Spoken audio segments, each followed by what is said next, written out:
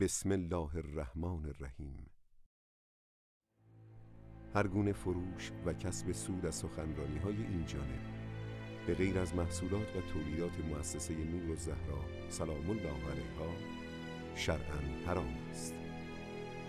در ضمن بنده تمام عواید حاصل از فروش تولیدات مؤسسه مذکور را وقف مؤسسه مساف ایرانیان نمودم تا صرف عرصه مهدویت گردد.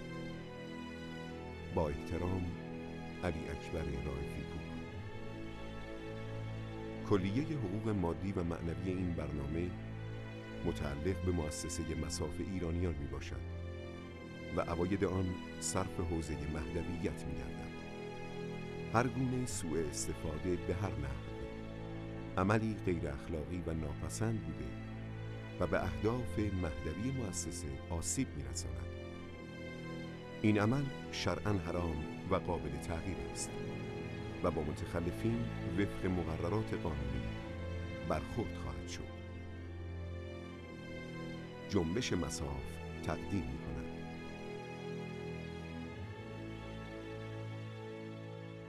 پایگاه اینترنتی مؤسسه مساف masaf.ir پست الکترونیک info at masaf.ir سامانه پیام کوتاه 2313 313 مؤسسه فرهنگی نور و زهرا سلام الله علیها.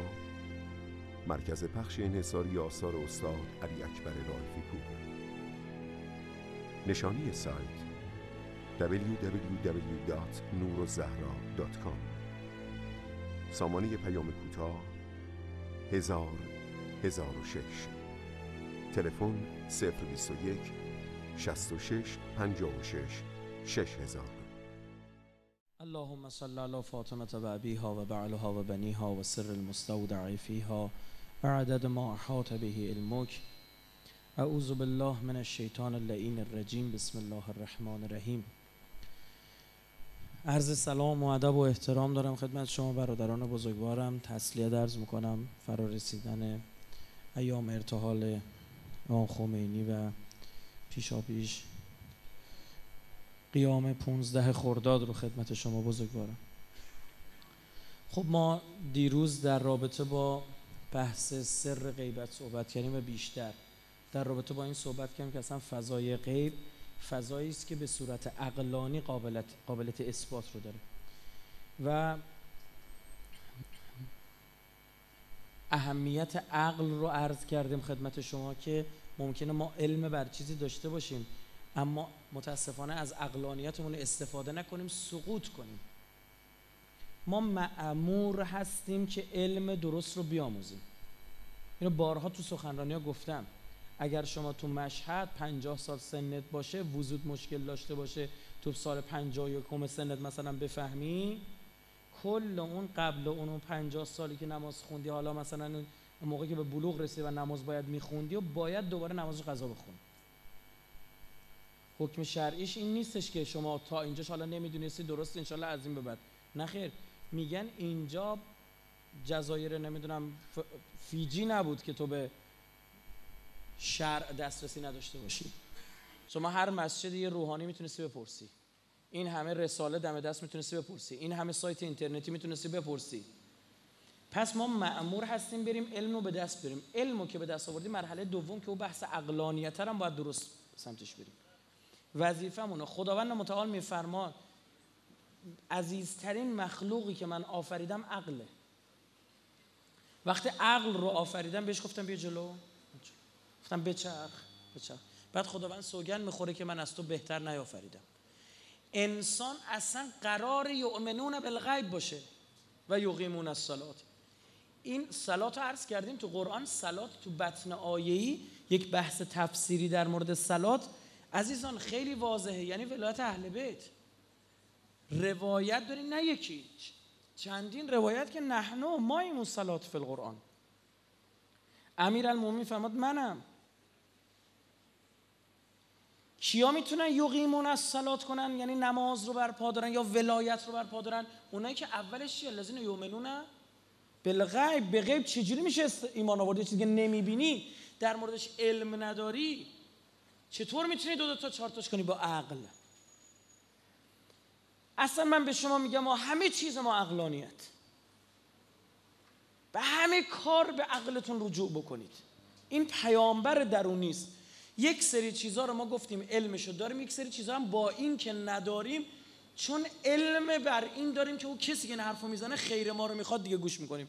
مثالی که زدم اینه که شما میری پزشک هر میگه فردا فلان غذا رو نخور نمی‌خوری. علمش نمی‌دونه حالا این غذا چه بلایی قرار سرت بیاره. اما میگه این دکتر بی خود نمیگه دکتر خوبیه. شیش ماه تو نوبت بودم. ما هم سراغ هر کسی بگید. والله نرفتیم. والله نرفتیم. زیارت جامعه فرازهای آخرش. میگیم خدا اگه از اینا بهتر گیر می آوردیم اونا رو می آوردیم از اینا بهتر اینه کیا؟ اهل بیت. جز شیعه جز شیعه. هیچ کس نمی‌تواند ادعا کند جز شیعه اسنا عشری. ادعا کند که من قطعا بهشتیم. تو ریب و تو شکه. بهتون بگم. هیچ کس نمی‌تونه ادعا کنه. عقلی ما می‌تونیم بحث کنیم. نمی‌تونه ادعا یعنی یه حالت زن و گمان داره. شاید برم بهشت. شاید بهشت نباشه. جز شیعه اسنا عشری هیچ کس نمی‌تونه. اصلا شیعه اسنا عشری مبانیش بر روی اقلانیت استوار شده. کل ما حکم به العقل حکم بهش شرع. و کل ما حکم به شرع حکم به عقل اصلا شما با عقل شرعتون آمیخته است. ایمان به غیب از عقل میاد. من دو دو تا چارتا می‌کنم. میگم خب این احادیث این اسلام به من رسید این روایت این پیامبر فرمود این دوازده امام دوازدهمیه نیست. از حدیث سقله می‌تونم امام زمان عمر طولانش اثبات کنم. حدیث خلفای اسنا عشر از کتب اهل سنت می‌تونم اثبات کنم. روایت فراوانی که خودمون داره می‌تونم اثبات کنم و این بحث ما نیست. اثبات امام زمان در قرآن اثبات امام زمان در منابع شیعه اثبات امام زمان در منابع اهل سنت اثبات امام زمان در تورات اثبات امام زمان در انجیل بحث ما نیست اینا جدا من بحث کردم. روی همین که می‌خوام بگم به غیب باید با عقل برسی. و خودم دقیقا همین رو می‌خواد. یؤمنون بل غیب. افلا یعقلون؟ عقلتون استفاده نمی‌کنید؟ دقیقا افلا یعقلون کجا استفاده می‌کنه؟ شاهکار کلام الله رو ببینید. اونجا که و اذا نادیتم الصلاه باز میگه وقتی به چی فراخونده شدید بگید؟ صلات باز یعنی ولایت. اتخذوها حزوا و لعبا به بازی گرفتید صلاتو ذالک به انهم قوم لا یعقلون. چون عقل نداشتید ولایت علی رو به بازی گرفتید. وگرنه علم بر این داشتید که علی بهتره. عقل نداشتید چیز بهتر گذاشتی کنار. این میشه که هر جا چیزی غیر عقلانی میشه یعنی میره تو حوزه هوای نفس و غریزه. میگه هر بار به هوای نفست عمل می‌کنی بخشی از عقلت میره که دیگه بر نمیگرده. دیشب گفتم روایت بسیار عجیب غریبیه از آقا رسول الله. این میشه که تو غریزت تا کجا بهش اهمیت میدی؟ تا جایی که کارش چی باشه؟ عقلانی باشه. غریزه شما گرسنگی. میگه برو این غذا رو بخور. میگه شرمنده دزدیه. مال حرومه. نه تو اروپایی اصلا خدا پیغمبرم کاری نداریم. میگی نه میگه چرا؟ میگه پلیس می‌گیره بابامو در میاره. متوجه شدی؟ بازم دو دو تا چارتای عقلانیه. اگر می‌خواید به عقل برسید به عقلانیت برسید مهار بزنید بر هوای نفستون. کسی می‌تونه بر مهار بزنه بر هوای نفسش؟ یعنی در مقابل گناه بیسته در مقابل حرام بیسته. کسی که قبلا جلو حلال ایستاده. اینو بهتون بگم. متوجه شدید؟ کسی می‌تونه جلو حرام وایسته که جلو حلال وایستاده آقا آب خوردن حرامه کی گفته؟ پاک باشه حق و ناس کسی نباشه می‌خوری. نوش جونتونم باشه. اما ما رمزون نمی‌خوری. از حلال داری میگذری. برای چی؟ برای اینکه نفست یاد می‌گیره. دیگه نمی‌تونه پیشنهاد حرام بهت بده. میگه برو بابا. این حلالش هم نخورد چه برسه به؟ حرامش. تو حج همسر آدم بر آدم حرام میشه. اون وقت می‌تونه بیاد پیشنهاد زنا بده نفس پاسخ میده به اون اون کسی که داره تحریک می‌کنه یعنی شیطان. میگه برو پی کارت بابا. این به حلال خودشم گذشته چه برسه به حرامش. اصلا حوزه مقابله با ابلیس در یه, پ... یه پله باید بری جلوتر باش به جنگی. عقب نباید بنا دارم یه سخنرانی کنم با این عنوان که چگونه گناه نکنیم. فکر کنم موضوع خوبی باید باشه. چون جسته گریخته این ورمر صحبت کردم می‌خوام یه جا جمعش بکنم. خیلی مهمه دیگه. عقل اینجا حکم می‌کنه. اما فواید غیبت رو گفتیم می‌تونیم صحبت کنیم. یا در مورد دلایل غیبت یک حرف بزن اما سر غیبت رو نمی‌دونیم. بیاد آقا ببینیم چی بوده ماجرا. لو میره اون موقع. و خیلی انگوش به دهان میونن فقط یه نکته به شما بگم. از 313 تا یار امام زمان روایت داریم. وقتی اینا رو جمع می‌کنه دور خودش آقا یک رازی رو بر اینها برملا می‌کنه که از این 313 تا 300 تا می‌ذارن میرن. فقط 13 تا میمونن. رو بعضی گفتن 12 تا. 13 تا میمونن که آقا با ولایت خودشون 300 نفر برمیگردن. این سر چیز هیچکی نمی‌دونه. البته آقای قاضی مرحوم سید علی قاضی بزرگ ایشون می‌گفت من می‌دونم اون چیه. آقا امام زمان میفرماد مونا می‌دونم اون چیه سر آقا قرار نیست هر کسی بدونه که مهمترین فواید غیبت و سر غیبت من چیز دلایل غیبت نه سر غیبت بگم. یکیش بیمه از کشته شدنه. خوف القتل. خوف من القتل. ترس از کشته شدن امام زمانه. یعنی الان که آقا ظهور نفرمودند یکی از این دلایل اینه که اگر امام زمان باشه چی میشه؟ به سرعت مورد حجمه دشمن قرار می‌گیره. دشمنی که شهید متحری می‌زنه شهید مفتح می‌زنه دانشمند هسته ای رو می‌زنه می‌خواد رئیس کل رو نزنه؟ گرفتی چی شد؟ اونا بفهمن امام زمان کجاست شما شک نکنید بمب اتم می‌زنن اونجا رو. چون میگن این تموم دیگه این آخریه است. این نباشه دیگه هیچ کس نمی‌تونه کاری کنه. فلزا خوف من القتل او یخاف القتل یعنی ترس از قتل یا ترس از کشته شدن. آیا این مبنا داره؟ بله مبنا داره آیه قرآن داره. و اوحینا الی ام موسی. به مادر موسی وحی کردیم. ان ارضعیه به شیر بده. فاذا خفت علیه. اگر ترسیدی در مورد اون خوف داشتی در مورد اینکه بکشنش فلقیه فی الیم ولا تخافی ولا تحزنی انا رادوه الیک و جائلوه من المرسلین. گفت نترسون ما اینو به برمیگردیم اما میترسی الان؟ ها؟ اگه میترسی بندازش تو دریا. یعنی چی؟ یعنی زمینی باید شرایط رشد حضرت موسی فراهم باشه. سر این من کلی بحث دارم. یه سری بحثامو من نمی‌تونم باز بکنم. تو کلم پیچ به قولی میگم. پاکت پیچ میگم. برای اهل فن شاید بگیرن. حفظ جان ولی معصوم زمانی که شرایط زمینی فراهم باشد معجزهی نخواهد بود. مثال بزنم. خدا خونش رو حفظ کرد یا نکرد؟ وقتی سپاه ابره آمد. حفظ کرد با پرندگان ابابیل. همین خدا خوب دقت کنید و نگاه کنید با سنگ های فرستاده شد و خونه خدا بگید. حفظ شد. حجارت من سجیل کلوخ بوده ها؟ هم کلوخ خودمون. سجیل کلمه فارسیه. سنگگل عرب گه نداره میشه جه سنجل دو تا جه با هم یکی میشه. سنجل سجیل خب؟ همین کلوخ خودمون بوده.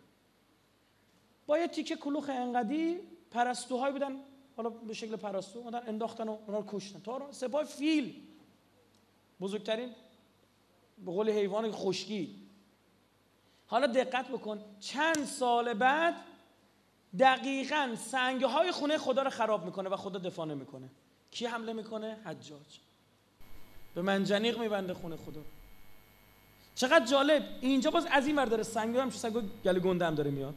اینجا خدا نظرش عوض شده خدا عوض شده. چرا اونجا از خونش دفاع می‌کنه اینجا خونش دفاع نمی‌کنه؟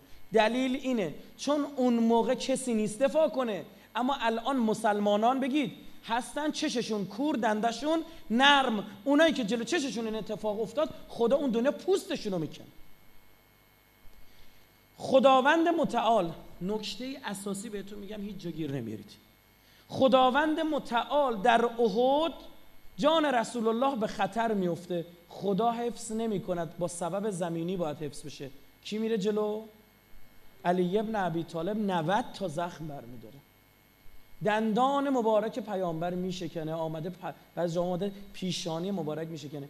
اما وقتی آقا رسول الله تو قاره دقت کنید خدا با معجزه حفظ می‌کنه. افتاد؟ چون کسی نبود کنار پیغمبر که دفاع کنه. اگر باشه ولو یه نفر باشه ولو دو نفر باشن باید دفاع کنه. ها؟ چرا این کار نکرد که اونا بریزن توی قار؟ این بابا هم شمشیر بکشه دفاع کنه. نه. آیه غار خیلی عجیبه ها. خیلی عجیبه. میگه دو نفر بودن. دومی اون دو نفر بود. گفت به آن به اون دومیه گفت یعنی همینجوری دو دو سه بار پشت سرم استفاده می‌کنه. سه بار لفظ دو رو استفاده می‌کنه که بفهم. صحبت از دو نفره. اما میگه و ما سکینه خود را بر یک نفر فرستادیم. افتاد یا نه؟ بر دو نفر دو نفر دو نفر. ثانیه اسنین ببین چقدر به ثانیه میگه دومی دوتا بود. حالا می‌گفته اولیه دوتا چرا نمی‌فهمیم اینا رو؟ چرا خودمون نمی‌پرسیم؟ چرا خدا نمیگه اولیه دوتا بود؟ یکی از دوتا بود. اینجا درست نیست؟ آ دومی دوتا بود یعنی چی؟ عمدن لف... این فن زبان عربه. عمدن هم میگه دو تا دو تا دو تا. بعد میگه خدا سکینش رو بر یک نفر فقط فرست. هر جا در قرآن شما برید نگاه بکنید تو همان سوره این آیه سوره توبه است دیگه. چند آیه قبلش میگه خدا سکینه خودش را بر پیامبر و مؤمنان فرستاد. این آیه میگه خدا سکینه را فقط بر یک نفر فرستاد. ما مزارع سوم شخص قایب زمیر مزارع زمین از می‌خوام زمیر مذکر قایب سوم شخص استفاده می‌کنه. خب دقت بکنید. این نکته درشه ها؟ همه را هه هه هه هه میگه فرستاد بر او علیه. یعنی همون هی قبلی است. قرار نیست مخاطبی عوض بشه. قرار نیست گوینده عوض بشه. سکینه بر پیامبر فرستاده شده و مؤمنین. و مؤمنین. یعنی چیه؟ برعکس بعضی فکر می‌کنن این آیه غار احترام میاره برای یک مثلا یک از صحابه. اصلا اینطور نیست برعکس رد شدید می‌کنه. چون خدا دو اونجا مؤمنی ندید که آیه رو بفرسته سکینه رو بفرسته جز پیامبر. چون آیه قبل همون سوره. این نکته دقت کردید؟ تو احد پیامبر تا مرز شهادت پیش میره. چون علی هست چون صحابه هستن باید دفاع کنه. اما تو غار این اتفاق نمیفته. تعدادش هم کم بودن و اونا چند نفر آمدن پاغار سه چهار نفر. تو احد چند نفر حمله کردن؟ هیچکی نمونده بود همه در رفته بودن. شتاب سفت تا صدشون سه ثانیه بود لامصب. گوله فرار کردن رفت. رفتن قایم شدن. نکته گفتم.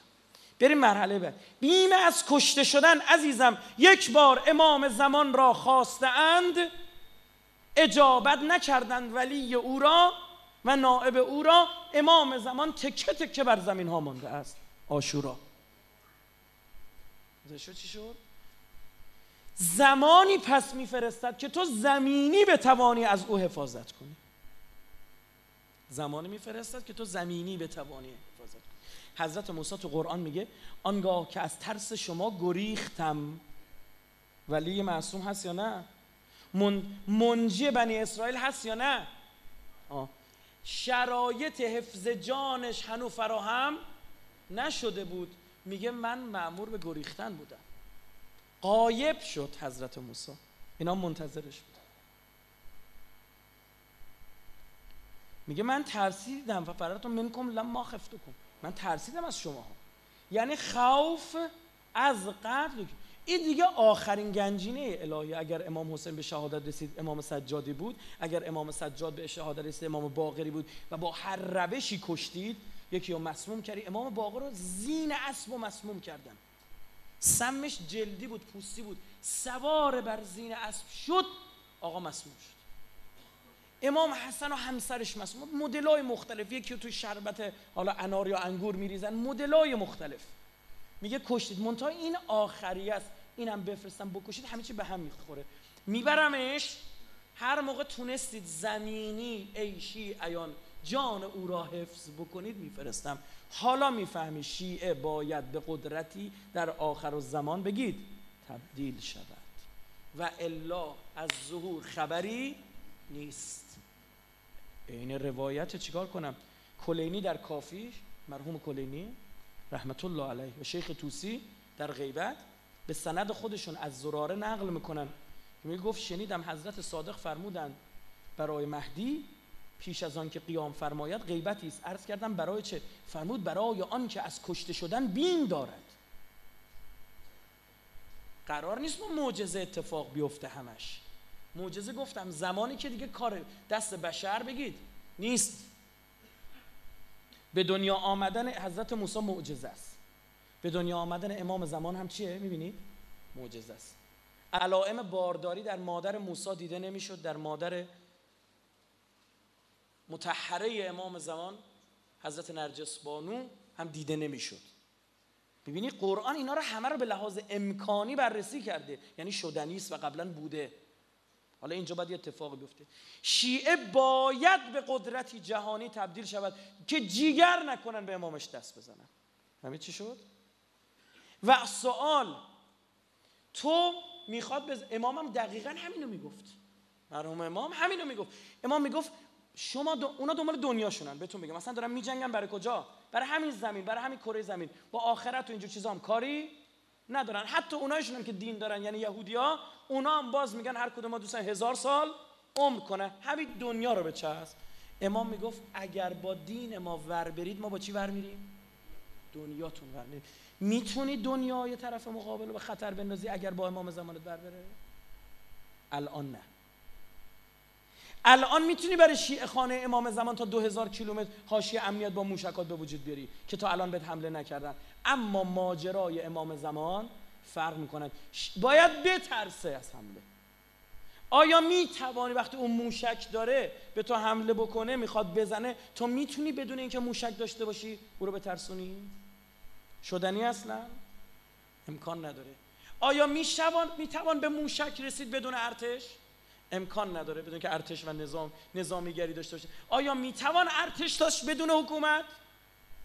نه. پس لازم است بر شیعه قبل از ظهور تشکیل حکومت بدهد. منتها نکته نه برای خودش برای امام زمان. اگر شیعه قبل از ظهور برای خودش تشکیل حکومت بدهد قطعا باطل است و قطعا شکست خواهد شد. اما اگر تشکیل حکومت بدهد به این نیت که دو دستی آن را تقدیم به دستان مبارک امام زمان بکند آنگاه نه, نه تنها که ایراد ندارد بلکه ثواب هم دارد. تعییدات امام زمان هم هست. با دست غیبش هم یاری خواهد کرد. شعار مردم ایران چی بود موقع انقلاب؟ خدایا خدایا تا انقلاب مهدی از نهضت خمینی محافظت این اون نکته که امروز بعضی از مسئولین ما باید بفهمن یادشون رفته. یادشون رفته که اصلا ما جمهوری اسلامی برای این درست نگم که فقط به مردم غذا بدیم بخورن. داشتن قبلش هم میخوردن. برای این هم درست نکردیم که فقط مردم نماز بخونن. قبلش هم میخوندن. زمانش مردم نماز نمیخوندن مکه نمی‌رفتن حج, حج نمی‌رفتن عزاداری برای امام نمی‌گرفتن حرفا چی چی بود؟ اون موقع خیز برای تشکیل و حکومت برای امام زمان نبود. تمام دعوا سر مهدیه. حذفش کن از عربستان بیشتر می‌خوای نماز بخونی؟ هیچ کاری نداره خدا شاهد. هیچ کاری نداره. گردن داره می‌زنه تو عربستان سعودی. یک بار گیر حقوق بشری بهش نداده فهمید چی شد؟ داستان سر اینه. یه مثال می‌زنم تا ماجرا حل بشه. آیا احمدی نژاد رفت لبنان. خب احمدی نژاد یادم بود که سر نترس داشت. رفت لبنان و اونجا شیشه ضد گلوله هم گذاشته که برون پشت سخنرانی کنه. عمدن اومد بیرون وایسا سخنرانی کرد. اینا هواپیماشون اسرائیل رد شدن فلان. همه گفتن سید حسن نصرالله تو زاهیه جنوب بیروت حتما حاضر میشه. دقت کنید حتما حاضر میشه. اسرائیل هم از قبل گفته به تمام کشورها اعلام علنی کرده. اگر کسی کنار سید حسن نصرالله دیدن بشه ما کار ما سید حسن نصرالله با موشک خواهیم زد. اگر رئیس جمهورتون مرد پس به ما نگید. همه می‌گفتن اسرائیل جرأت حمله کردن. بگید نداره سید حسن نصرالله میاد. چون جنگ میشه دیگه رئیس جمهوری مملکت رو بزنی جنگ میشه. جالب بدونید محافظای سید حسن نصرالله تشخیصشون بر این بود احتمال زدن سید حسن نصرالله وجود دارد اجازه حضورش ندادن. چه چی شد؟ اما چند سال بعد اون ماجرا آشورا پیش اومد. سید حسن نصرالله اومد در ملع عام تو بیروت ده دقیقه سخنرانی کرد اسرائیل نزد. هیچ کم کنارش نبود. می‌دونی تفاوت تو کجا بود؟ تفاوت تو این بود می‌دونست اگه تو آشورا همچین غلطی رو بکنه این شیعیان تا خود تلاویو رو صاف می‌کنه فهمی چی شد؟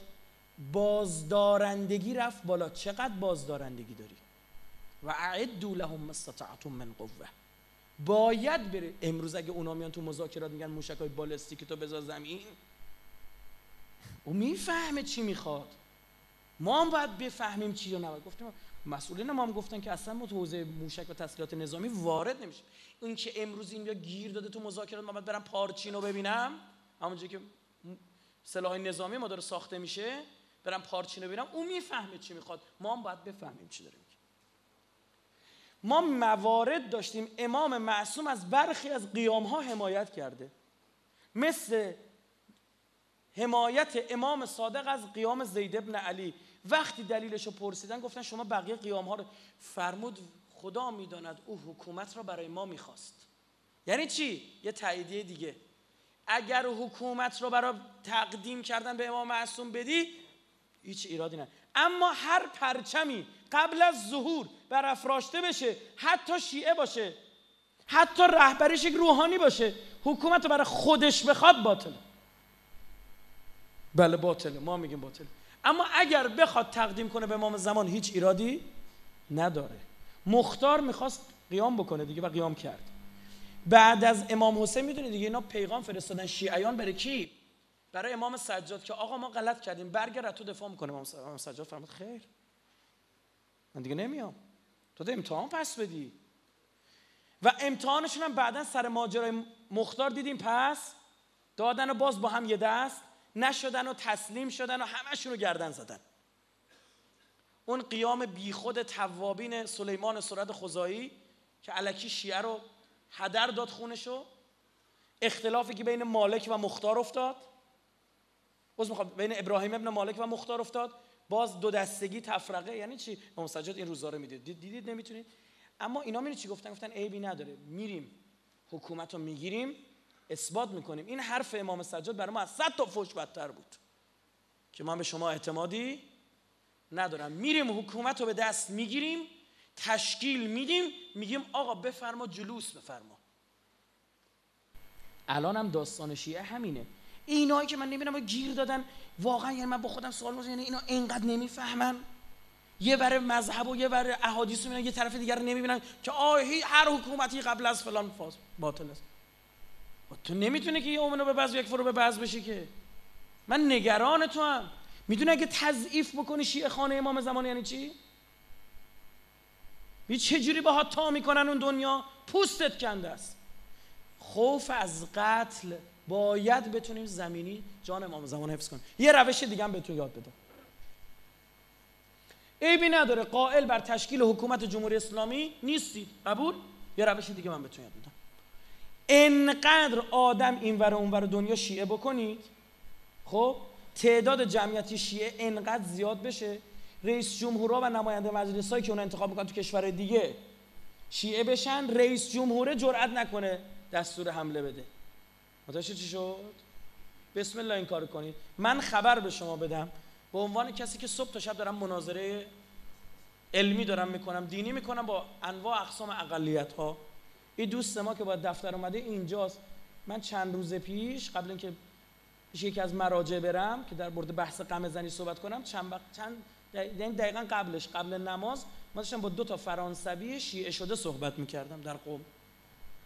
خب؟ و صحبت سر این بود عزیزم عموم کسانی که از مسیحیات و اروپا دارن مسلمان میشن سنی میشن. و خود مؤسسه گالوب میگه تا 15 سال آینده دین اول اروپا اسلامه. فرصت از این بهتر. اونا هم تعصب به خدا ندارن. انقدر راحت شیعه میشن مثل دوتا. که اینا خوبه بهتون بگم قبلش اینا سنی بودن. انقدر راحت شیعه میشن که نه. متوجه می‌دونه که از دلایل شیعه نشدنشون چیه؟ این که تو اینترنت سرچ می‌کنن شیا مسلم. ببینیم شیعه چی چیه سنی چی چیه. تا می‌زنن شیا مسلم اینتر رو می‌زنن فقط خون می‌بینن. با خودشون میگن اینا یه مش وحشی هن. من برم شیعه بدینید اثر بدی آخه بعضی عجیب خدا وکیل استدلال می‌کنه. شما فکر کردی وقتی مرجع تقلیدی میاد میگه آقا نزنید قمه نزنید خودشو می‌خواد بی خود جلو امام حسینیا قرار بده. می‌خواد خودشو جلو هیئتیا قرار بده. بابا هر بچه اینو می‌فهمه. بدون مصالح بزرگتری رو داره می‌بینه. بفهم مسائل داره می‌بینه. 15 سال دیگر رو داره می‌بینه. 20 سال دیگر رو داره می‌بینه. وقتی دغدغه داره بابت جمعیت 30 سال آینده رو داره می‌بینه. نشسته طرف خونه باباشو نمی‌تونه جمع بکنه. خونه خودشو نمی‌تونه جمع بکنه. 5 6 نفرم بیشتر نیستن تو خونهشون. هشتشون گرا نوشون هر روز این فوش میده و بچه از دست رفته و یکی طلاق گرفته و یکی چی؟ 77 میلیون جمعیت که هر کی یه ساز می‌زنه از خودش. فکر کار ساده ایه منطقی نگاه کنید. ایمانتون در خطره. تضعیف شیعه خانه امام زمان یعنی عقب افتادن ظهور. از دست دادن این موشک ها یعنی عقب افتادن ظهور من دارم با روایت برات میارم آیه قرآن می‌خونم. احادیثی هم که دارم براتون می‌خونم آیت الله صافی گل پایگانی تصحیح سند فرموده قبلا. یا سندش فلانه بذار در کوزه آبشون خوره عزیزم. ما قبلا همین خودمون این کاره ایم. تا میرین که تو یه مناظری جای کم میارم این سندش. کلا اصلا نمی‌دونه ها؟ فهمیدی؟ این سندش. اینا اینا همش تصحیح سندی شده. اونم توسط کسی این کار شده که خبره این کار بوده و کتاب های مختلف نمیشه در زمینه مهدویت منتخب الاثر ایشون معروف. بیم از کشته شدن. بنی عباس رد امام زمانو زده بود. جاسوس تو خونه امام حسن عسکری داشت بنی عباس. کی؟ برادر امام زمان. برادر امام زمان وقتی یعنی امام حسن عسکری رو عرض می‌کنم. کی؟ جعفر کذاب جعفر جاسوس بن العباس شده بود امام حسن آقا صاحب زمان را از جعفر برادرش قایم می‌کرد. هیچ کس من باید اینجوری مخفیانه و سکرت زندگی می‌کردن امام باقر روایتی ازشون دیدم تنم لرزید. به امام صادق میفرمه فرزند بزرگوارشون میفرمان که بارها می‌شد که شرایطی فراهم بشه که یکی دیگه از مام تشکیل حکومت بده مثل شما. یعنی به امام صادق میگه تو می‌تونی تشکیل حکومت اما برخی از شیعیان ما خرابکاری کردن. اطلاعات لو دادن. این ضعف ما هم داریم. اصلا چیزی تحت عنوان محرمانه تو مملکتمون اصلا کنه وجود نداره. محرمانه یعنی یه چیزی که یه نفر دو روز زودتر خبر داره. خیلی محرمانه یه هفته. خیلی بده. امام باقر امام صادق کلی زحمت می‌کشه. یه نفر نفوذ می‌دادن تو کجا؟ دستگاه خلفای عباسی. بخونید تاریخ اگه نخوندید. مشکل این مملکت اینه که مردم با سقلین دوست نیستن. دروغ میگن. بهشون میگو بسم الله. بیا ده دقیقه در مورد هر امام صحبت کن. داستان سر این عزیز من. نفوذ داد نشسته بودن یه جا.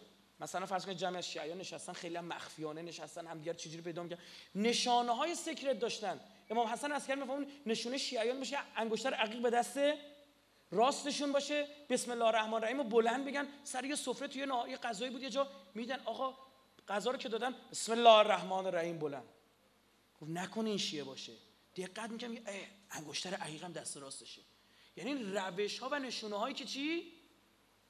من نمیگم حتما تنها دلیلش این بود نه دلایل دیگه هم داره انگشتر عقیق برای بدنت خوبه و ثواب و ایناش به کنار. اما یک بخشش نگاه های امنیتی بود خراب می‌کرد. 5 تا شیعه نشستن کنار هم دیگه. یا مثلا یکی از یاران امام باقر یا امام صادق که تو دستگاه خلافت عباسی نفوذ داده شده آقای ایکسه یکی از این شیعه می‌گفت خدا لعنت کنه این آقای ایکسو که وزیر این مثلا منصور دوانیقیه یکی دیگه اون بغل نشسته می‌گفت انقدرم راحت بهش فوش نده. خب برای چی فوش ندم؟ این همه شیعیان رو بدبخت کرده. ببین عزیزم خودیه. شوخ. ایفر وزیر منصور خودیه. بله. یه چیزایی هست دیگه بالاخره. نمیشه گفت دیگه ماها می‌دونیم و عقده گندگی. فهمیدی؟ حقارت شخصیت. حقیره خب نمی‌تونه جلو خودشو بگیره. یه چیزایی هست دیگه نمیشه گفت دیگه بالاخره. آقا ببین. فلانی رو گرفتن. با این مثلا با این جرم. قبلش یکی دیگر مگه نگرفته بودن؟ مثلا آقای ایکس و ایگرگو میگه بله. اونو مگه اعدام نکردن؟ چرا؟ چرا اینو به پنج سال زندان محکوم کردن؟ راست میگی یا؟ همین آقایی که داری بهش فش میدی نذاشت. جدی؟ بعد این باز از او بدتر. می‌رفت چون مینداخت لو می‌رفت طرفو می‌گرفتن. کلی ظهور عقب میافتاد. کلی تشکیل حکومت عقب میافتاد. امروز به این آقایون مسئول میگی تو جلسات موبایل نبرش بر می‌خوره. یعنی چی موبایل نیاریم مثلا؟ تو شرعا مسئولی موبایل نبری تو اون جلسه که بهت میگن نبر. بیچارت می‌کنن اون دنیا. نه اینکه مثلا نمی‌دونم اطلاعات بیاد خیرتو بگیره یا حفاظت اطلاعات یه مجموعه بیاد خیرتو بگیره. اون دنیا حفاظت اطلاعات خدا پدرتو در میارن. میگه برای چی این غلطو کردی وقتی شنود شد؟ آقا تو گوشی شماره زده؟ بسم الله. سردار. بعد برای اینکه سردار هم قاطی نکنه. سردار حسینی. بعد برای اینکه حسینی هم فامیل زیاده مثلا. سردار حسینی نیروی قدس. سردار حسینی نیروی زمینی. سردار حسینی هوافضا. سردار حسینی به همه نرم افزارا هم جاسوسی. ها؟ می‌گیره می‌بره اون طرف. بسم الله. کل می‌خواست بگره. پدر خودش در بره شماره رو پیدا کنه. بسم الله. زد به یکی اینا 200 شماره به دست بعد چی میشه؟ آ. آقای در لبنان ترور میشه به شهادت می‌رسه. ایشون چند روز قبلش توی یه یادوار شهدای سخنرانی داشته. آقا یکی از نیرو قدسی رو ما دعوت کردیم. قرار نیست لوبره ها. متوجه بالاخره چی کاره است فلان؟ ردش زده میشه اونجا میزننش. خونش بر عهده تو عزیز من. خونش بر عهده توه. خاف القتل. اصلا شیعه داره با حفاظت از ولی فقیه مانور میده برای حفاظت از کی؟ امام معصوم به خدا قسم من خودم نمیگذرم از اون یاران امیرالمومنین که گفتم بذار بریم پشت علیمون نماز بخونیم. نفهمیدن که دو نفرم باید چی وایستن اونجا. محافظ. درس نگرفته بودن. بعدش درس گرفتن. دیگه بعد از امام علی میگوشه گفتن آقا اینو ترور می‌کنن ها. به پا باشین. اونا هم فهمیدن امام حسن رو می‌دونید بازم تونستن ضرب امام حسن با خنجر زدن به ران مبارکش تونستن تا توی خیمش بیان سجاده از زیر پاش کشیدن بیرون. روش رو عوض کردن دیدن بازم نشد سری گرفتن یا رو بازم نشد اومدن چیکار کردن؟ ترور توکسینی انجام دادن. عبارت علمی امروزشه سم. حضرت عباس از امام حسین جدا نمی‌شد. جلو در خیمه وای میستاد هر کی می‌خواست بره تو خل اصلاحش می‌کرد. گفت هر کی می‌خوای باشی باش. مولام تو خیمه است. هر کی می‌خواست بره تو خیمه خل اصلاح می‌شد. متوجه شدید؟ امروز من به شما بگم زدن رهبری به لحاظ فیزیکی به لحاظ فیزیکی و ترور فیزیکی در دستور کار تمام دستگاه جاسوسی غربی. زدن سید حسن نصرالله به لحاظ فیزیکی نه ترور شخصیت و که جنگ نرم یک داستان دیگه. در دستور کار تمام دستگاه غربی. پیدا کنن می‌زنن قبل اینم زدن بعد اینم خواهند زد. سید عباس موسوی چی شد؟ اماد مغنی چی شد؟ کارشون تروره. کارشون تروره. فرهنگ شیعه ترور نیست حضرت مسلم می‌تونست وقتی اومد خونه هانی ابن زیاد ملعون بیاد بیرون همونجا ترورش کنه. گفت نه. ما در مشیمون همچین چیزی نیست. شیعیان علی رو در رو مردانه می جنگن اونا نامردن. اما حالا اونا نامردن ما دیگه بریم ول کنیم ماجرا رو. این خیلی اهمیت داره. ما با حفاظت از جان امام خمینی داشتیم کد می‌دادیم به خدا. بارها گفتم مردم عاشق چشابری امام خمینی که نبودن که. مردم به این نیت سراغ ولی فقیه رفتن که بگن ولی معصوم برای ما ارزش داره. خدای این آقا غیر معصومه. ما حاضرین پاش جون بدیم. این یعنی چی؟ یعنی پا اون معصومه که دیگه تیکه پاره می‌کنیم خودمون. امام خمینی قلبش بیمار شد مشکل پیدا کرد. بعضی از عزیزان تو جمع هستن یادشونه. بعضی هم جوانترن یادشون نیست. جلو بیمارستان صف کشیده بودن گریه می‌کردن. این قلب ما رو بردارید بدید به کی؟ به امام خمینی که معصوم هم بگید. نیست تاکید می‌کنم ولی معصوم نیست ولی فقیه اینجا رو دقت بکن. آن طرف در آشورا امام پیرهن مبارک بالا میاره تا عرق از جبین مبارکش پاک کنه. بی کس و کار شده. کسی نیست دیگه تیر بخوره براش جلوش. مثل حبیب. دیگه سپر نداره. تیر سشوبه به قلب مبارک اصابت می‌کنه و میندازه آقا رو متوجه شد چی شد؟ یک جا گفتن آی نمی‌دونم فلان می‌کنیم. صدام گفت سه روز دیگه میام تهران. هشت سال غلط اضافه کرد. از خوزستان اینورتر نتونست بیاد.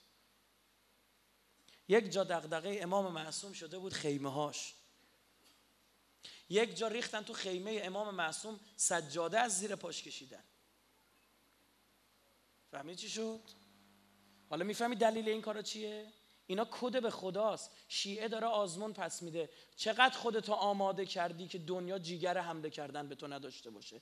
اونم فهمیده. یکی از دلایلی که ما رو نمی‌تونن بزنن حزب الله لبنانه. چرا؟ چون حزب الله لبنانی که به نفع بشار اسد که دین ایمونی هم نداره لایکه تو جنگ حضور پیدا کرد معنیش برای اسرائیل بود. خود تحلیلگر اسرائیل می‌گفتن. می‌گفتن ما قبلا شک داشتیم اگه ایرانو بزنیم سید حسن نصرالله میاد یا نمیاد. اما وقتی برای یکی مثل بشار اسد اومد قطعا برای ایران میاد. اونا اگه تا الان نزدنت یک بخشش موشکاته. یه بخش دیگه هم بگم چیه؟ یه شیعه خونم بیخ گوششون درست کردی تو لبنان. درست شد؟ با موشکاش اونم باز با موشکاش می‌تونه بزنه اسرائیل برای همین جریان 14 مارس انداختن جلو می‌گفتن لا للوسایت السلاح. حزب الله سلاحشو باید بذاره زمین. اه بذاره زمین که تو تو بیای بگیری تموم بشه بعدش هم ایرانو له بکنی. خاک ایرانو به توبره می‌کشن. ما سلاحی قوی تر از حزب الله بعید می‌دونم تو کل مملکتمون داشته باشیم. شو چی میگم بعد میان شبهه میندازن بین یه ماش خلوچل. آی ما چرا داریم به حزب الله کمک می‌کنیم نمی‌فهمه. بنده خدا نمی‌دونه چی داره میگه نمی‌دونه چی داره میگه. یاد بدید به مردم مردم حق دارن نمی‌دونن.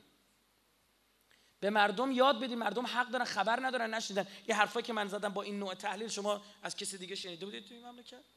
صدا سیما برات گفته بود؟ آه داستان سر این عزیز من. توجیه باشیم. خوف از قتل.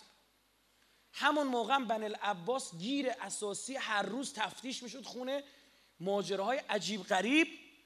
درگیر قیام های دیگه شد بن العباس مثل قیام صاحب الزنج که یک برده سیاه پوست بود قیام کرد و داستان درست کرد. درگیری های دیگه پیدا کرد وگرنه خود اونها هم آگاه بودن به بودن امام زمان. اینا از اون در به سرداب مقدسی که زده بودن در زمان عهد ناصر الدین خلیفه عباسی اون در رو تقدیم کردن به اونجا. یا در زمان اون مستنصر اون ماجلای ابراهیم یا اسماعیل حرقلی بود که دوملی بر پاش داشت که امام زمان شفا داد رسید پیش خلیفه عباسی. خلیفه عباسی اشتباه نکنم هزار دینار چقدر پول داد؟ گفت امامم امام امام زمان علیه السلام فرمود که او به تو پول میده قبول نکن پولش مشکل داره. وقتی اینو گفت که آقام گفته من اینو قبول نکنم زار زار اشک خلیفه عباسی. یعنی قبول داشتن بودنو قبول داشتن.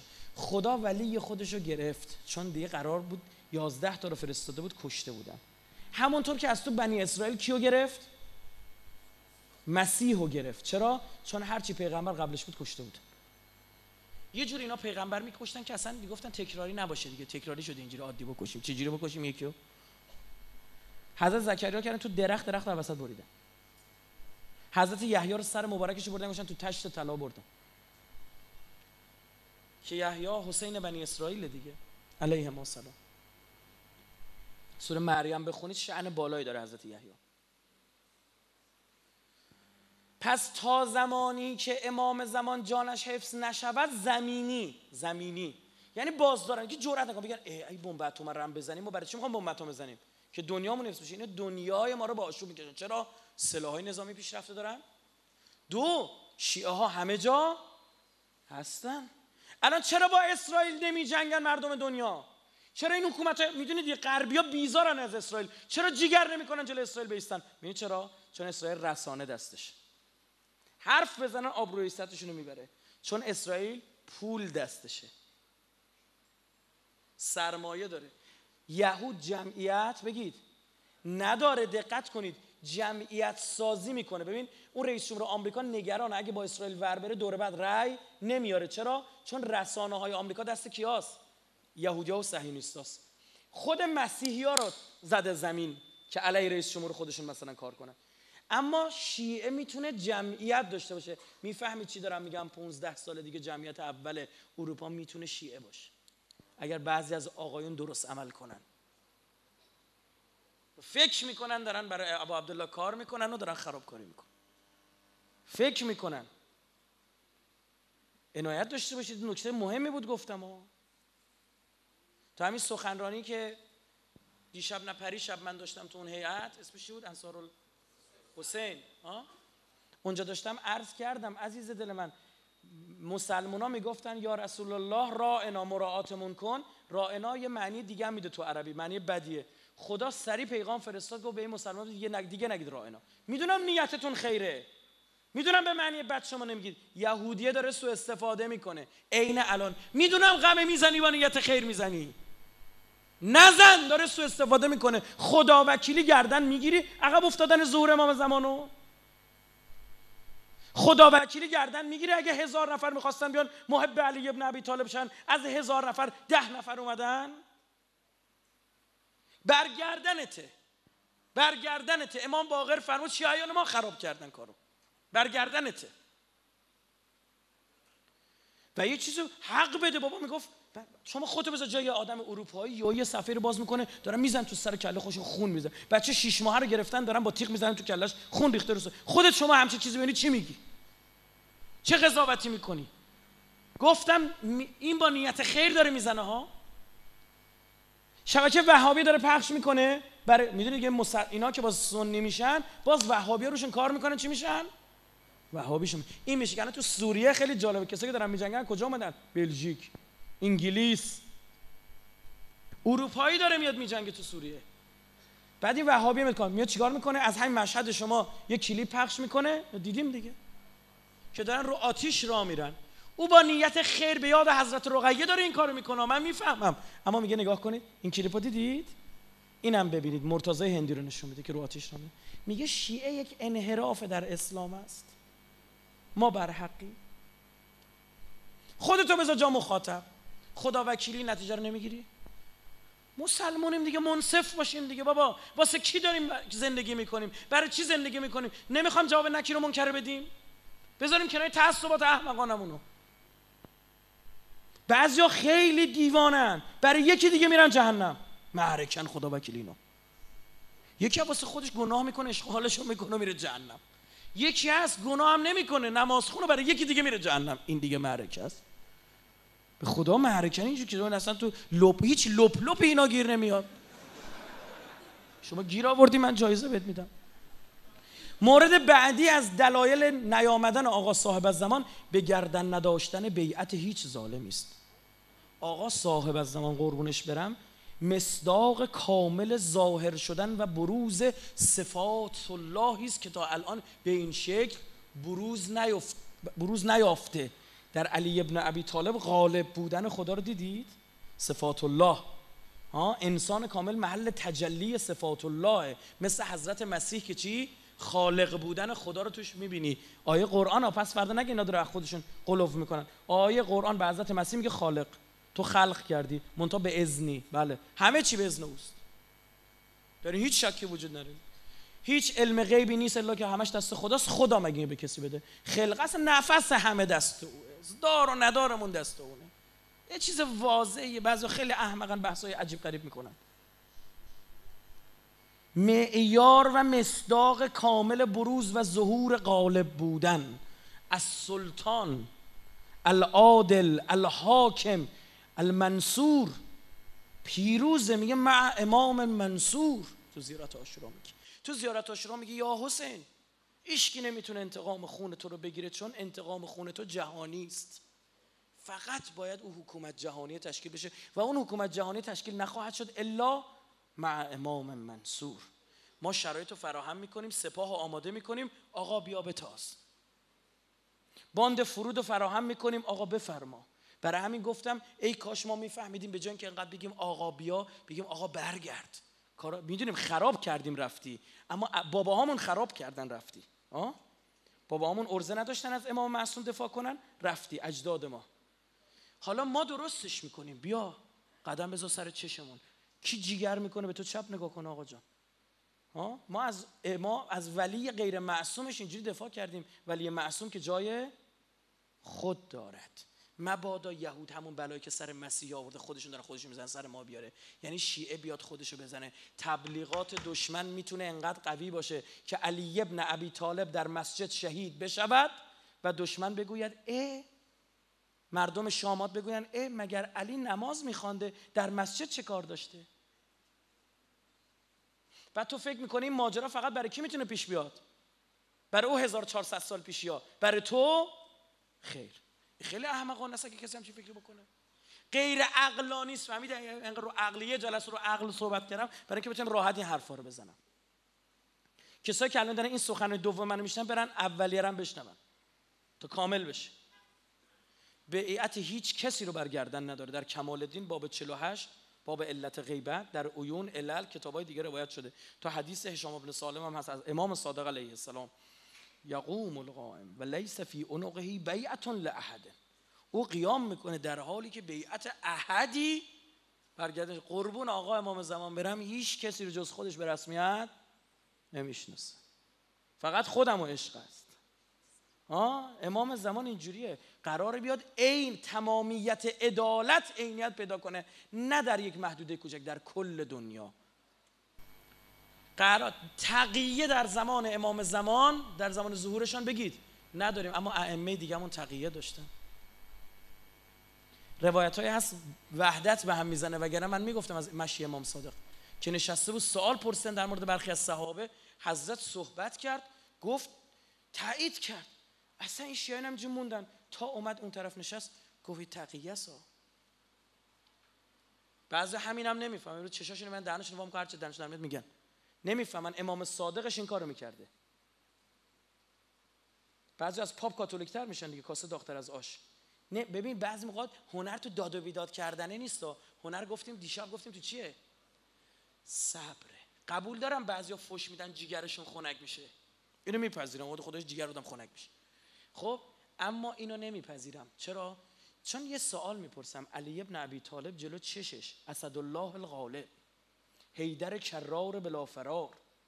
ها یه همچین علی که زلفقارش رعشه بر تن دشمن مینداخت جلو چشش می‌زنن تو گوش همسرش اونم چه همسری؟ وای میسته نگاه می‌کنه. با استدلال این آقایان لابد علی ابن ابی طالب ترسیده. نه علی مسلحتی رو دید آوردیم تو روایتمون داریم. چی فرمود امیرالمومنین؟ فرمود دیدم اینا میفتن به جون همدیگه تیکه پاره میشه امت. برای وحدت سکوت کردن. علی ابن ابی طالب نمی‌تونست اونجا جیگرش خالی بشه. اینا تو دلشون مونده بودا. تو دلشون مونده بود. امام حسن وقتی مغیره ملعون رو دید تو احتجاج شیخ تبرسی داریم. تا باش صحبت کرد گفت تو فکر نکنی یادمون رفته. تو همون کسی هستی که مادر ما رو زدی. من تو جلو چشمه. و ادمی تا کاری کردی خون از او سرازیر شد. اما شمشیر کشید گردنش رو زد. نه. صبر اینا شیعه نیستن. میگم چرا؟ دروغ میگن. هرچند نیتشون خیر باشه. هرچند نیتشون خیر باشه. شیعه نیستی بگو محبم. چون شیعه یعنی پیرو. این عمل کرده مولا بود. از پاکستان میان پیش ما میگن ما رو دارن تیکه پاره می‌کنن. بابا دیروز بود دیگه ما تو حرم نشسته بودیم. یک کویتی بود از من سوال پرسید. فارسیش خوب بود استاد دکترای فیزیک داشت. با هم شروع کردیم صحبت کردن و حالا غیره. یه پاکستانی جلو من نشسته بود. دقیقا از توی خود حرم متر یه خورده میای بیرون. روبرو منبر تو گوهرشاد روبرو منبر میشینی. قسمتی هستش که نمازم وصل نمیشه چون پایین تره اونجا ما نشسته بودیم. این برگشت و صحبت کردم. گفت اهل لاهورم. گفتم چه خبر؟ گفت کویت اوضاعش خیلی خرابه. گفت فقط بفهمه شیعه تیکه پارت می‌کنه. می‌دونی چرا؟ بعضی از همین فایل از ایران رفته اونجا. بهتون بگم. همین ریگی تو بازجویش می چی گفته بود؟ گفته بود هر موقع ما سرد می شدیم سخنرانی فلان آقای منبری رو میذاشتیم اینا آتیش می‌گرفتن دوباره می‌گفتیم برید سر ببرید دوباره برید تاسوکی درست بکنید. من اسم نمی‌برم و بنام ندارم. با اسم کار نداریم ما با کسی کار نداریم. ما با جریان فکری کار داریم. فکر نکنی بعضی موقع جیغ و داد زدن جیگرت خنک بشه. برعکس می‌دونید اون واقعی خانه حضرت زهرا سلام الله علیها تنها کسی که جیگرش می‌خواست خنک بشه کی بود؟ زبیر بود شمشیر کشید. گفت می‌زنم اینا رو. بعد همین زبیر اون داغی این سردیرم میاره جلو امیرالمومنین شمشیر می‌کشه. اونجا حضرت سلمان حضرت مقداد دست به شمشیر نگاه کردن ببینن مولا علی چی میگه. دیدن علی ابن ابی طالب سر پایین انداخته. گفتن امر مولا بر صبر هست. شمشیر غلاف کن. مالک گفت ده ضربه مونده. فقط ده ضربه. تا من کله معاویه رو براتون بیارم. ده ضربه. گفتن مالک صبر کن اگر می‌خواهی امامت را زنده ببینی. برگشت آتیش گرفت مالک. اومد نگاه کردید عجب اینا دور خیمه امام معصوم رو گرفتن. فریاد می‌زنن ان الحکم الا لله ان الحکم الا لله. لا حکم الا لله. یه عده از بنی هاشم سی چل نفر لباس سبز به تنشونه وایستادن که اگه جنگ بشه بزنن. مالک دید اگه اینا حمله کنن تکه تکه می‌کنن امام. شمشیر رو قلاف کرد. تو این سریال امام علی خیلی قشنگ نشون داد. این جندب ازدی می‌گفت ار ار ار ار می‌گفت. اینا مثل الاغ دارن ار ار می‌کنن. هیچ از اسلام نمی‌فهمن. اینا قرآن قلقل می‌کنن هیچی نمی‌فهمن. که علی وقتی میگه بزنید بزنید. یک جای هست تشخیص مال من تو نیست. تشخیص الهی تشخیص امر ولاییه. شیعه رو تربیت کنید تاریخ شیعه رو بهش بگید به بچه هاتون یاد بدید تا قاطی نکنن. با یه شبکه ماهواره این ورانور نشن. با یه خبر غلط این ورانور نشن. میگم بابا معاویه کاری کرد. مردم می‌گفتن مگه علی مسلمون بوده؟ امروز نمی‌تونن این کار کنن؟ می‌تونن بیشترش هم می‌کنن بهترش هم می‌کنن. بگم چرا؟ چون معاویه ماهواره نداشت معاویه اینترنت نداشت معاویه رادیو نداشت معاویه تلویزیون نداشت. اینا دارن. اینا دارن بهترش هم می‌کنن. قشنگتر هم می‌زنن حرفیتر هم می‌زنن. معاویه درس علوم رسانه و مدیریت رسانه و عملیات روانی نخونده بود. پدر سوختگی ذاتی داشت. خب؟ اینا دکتراشو دارن. اینا بلدن چجوری یه خبر بگن که چجوری مخ طرف رو بیارن پایین. داستان سر اینه.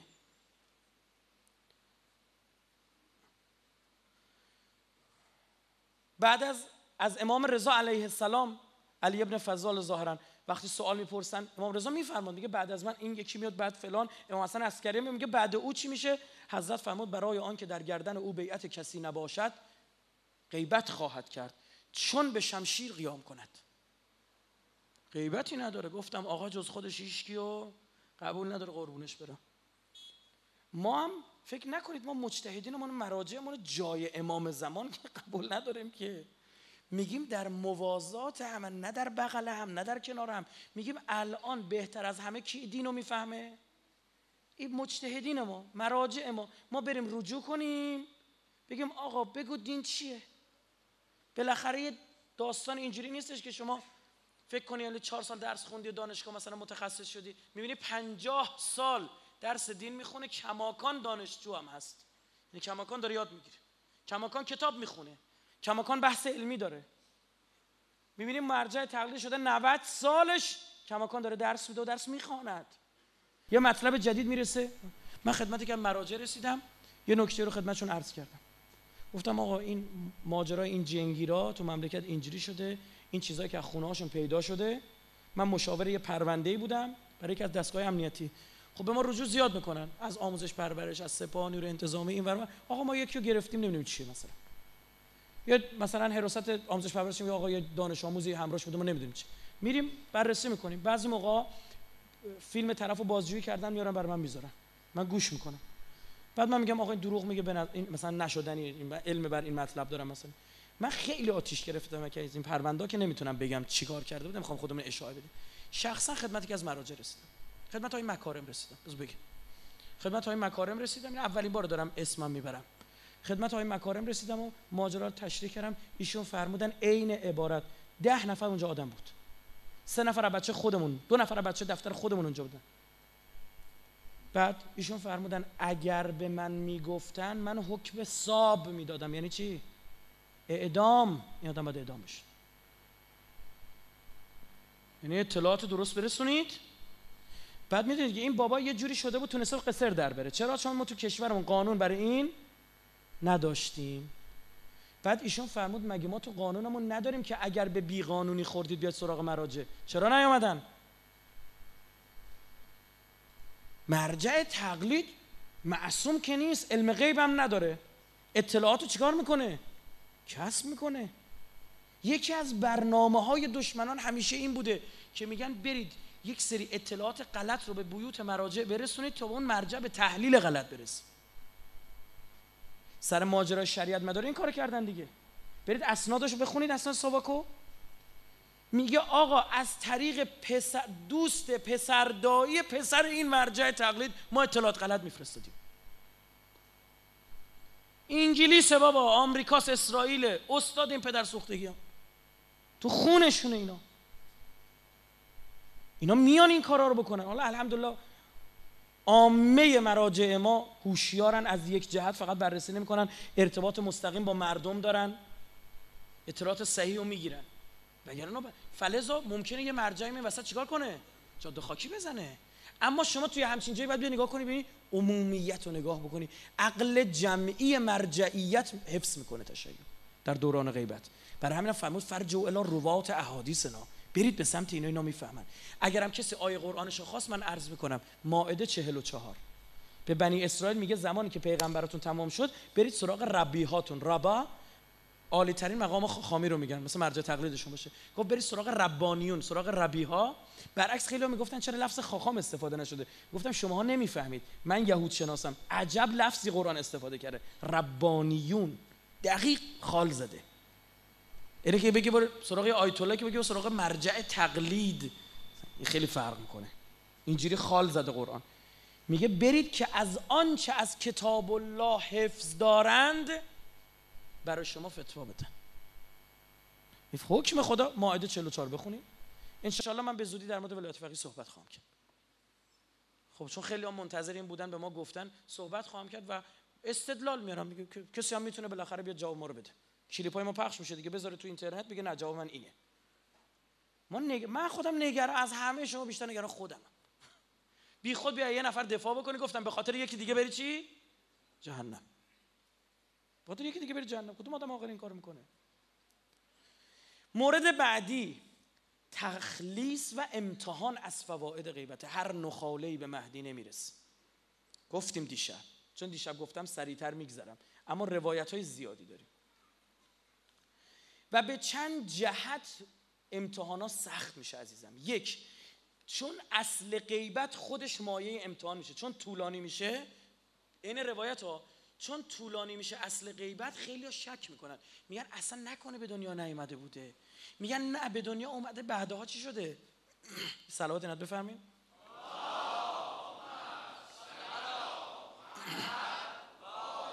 محمد و عجل فرجهم.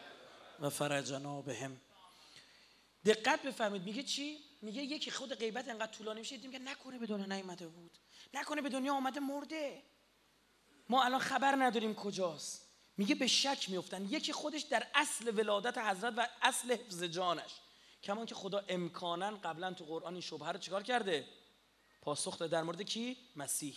در مورد کی؟ حضرت یحیی که در کودکی اینا به پیامبری رسیدن. الان خصوصی حضرت مسیح که شک و شبهه‌ای نداره. و اینکه باید زنده باشه و عمر طولانی. در مورد اصحاب کف این که خدا یه نفر زنده می‌تونه نگه داره صحبت کرده. یعنی خدا پاسخ داده. خدا حجت رو تمام کرده. چه واسه شیعه چه واسه سنی. چون قرآن دیگه مشترکه که دیگه بابا. پیامبر فرمود ذالک الذی اون که غیبت می‌کنه ان شیعته از شیعیانش و اولیاء و دوستانش این غیبتی است؟ لا به تو توش ثابت نمیمونه فیها. القول به امامت الا من امتحن الله قلبه للایمان. مگه اون کس میگه هیچ کی ثابت بر غیبت اون نمیمونه الا اینکه خدا قلبشو با ایمان امتحان کرده باشه؟ نمیفرماد با اسلام میفرماد با ایمان. یه مرحله بالاتر. مقامی عجیب دارن کسایی که در دوران غیبت منتظر آقا صاحب از زمانن. تا جایی که داریم مقام انقدر بالاست از برخی از پیامبران این مقام بالاتر.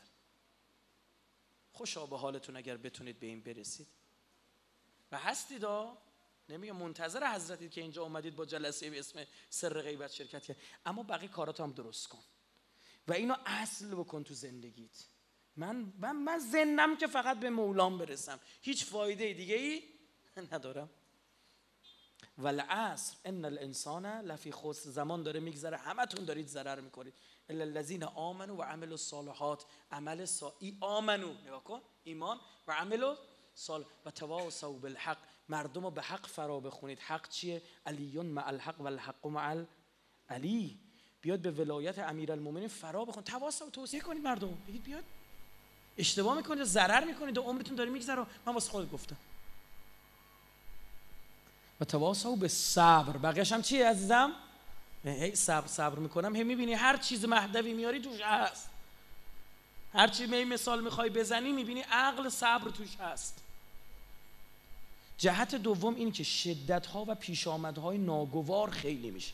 تغییرات و تحولات عجیب غریب تو دوره غیبت داریم که مردم دادشون در میاد. هر کسی مؤمن نمیمونه. نون حلال پیدا کردن میگن تو آخر زمان سخت میشه. آخر زمان سخت میشه. بخوای حلال. یه عزیزی هست از همین بچه های مشهد. انگشتر فروشه. می‌گفت استاد دیگه سختم شده. میاد ازم می‌پرسه میگم نه این عقیق یمن اصلی نیست. اینا صنعتی تولید می‌کنن. میگه مغازه میره بیرون. مغازه روبرویه. میگه چی؟ بیا عقیق یمن اصل بهت بدم. همونو میندازه بهش. میگه این پیر مردم میان انگشتر فیروزه قدیمی خال نیافتاده روشه. دستشه میگه آج آقا بیا عجب انگشتری بیا اینجا بیا اینجا بیا. چه در بیا انگشتر عقیق بده عقیق بده. انقدر چقدر میارزه؟ اون انگشتر می دو میلیون سه میلیون قیمتش. مثلا فیروزه ای که قدیمی و درشت و خال نداره خب همه می‌دونن دیگه فیروزه گرونه. خب یه عقیق انقدی هم بهش میده کیف کنه و انگکاد هم روش میده بنویسن براش کیف کنه. میگه نو... سختم شده. حق خوبه باری کلا.